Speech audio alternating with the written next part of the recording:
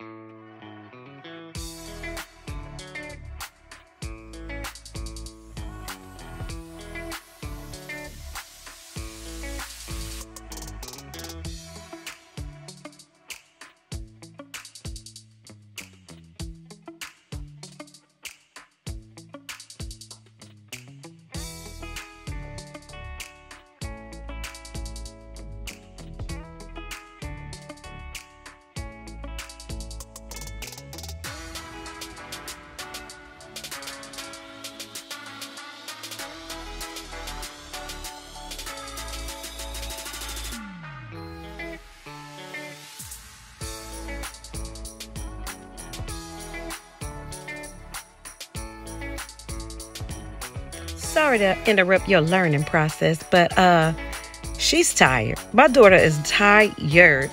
Who gonna tell her? Me or you? Should I tell her? Or you gonna tell her? Who gonna tell her?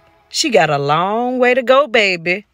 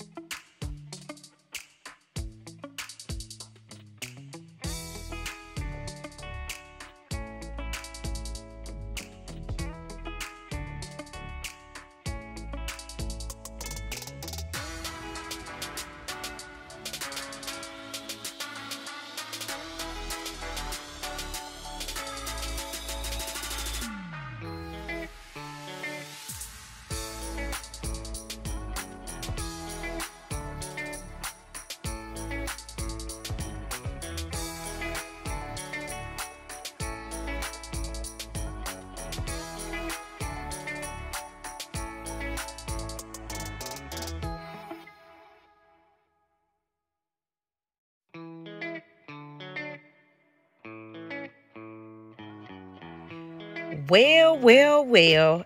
I can't say I didn't see that coming.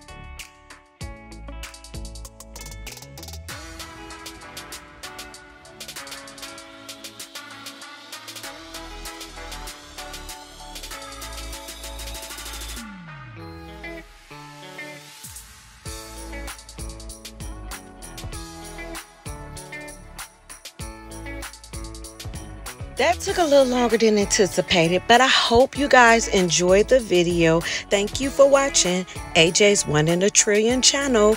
Peace.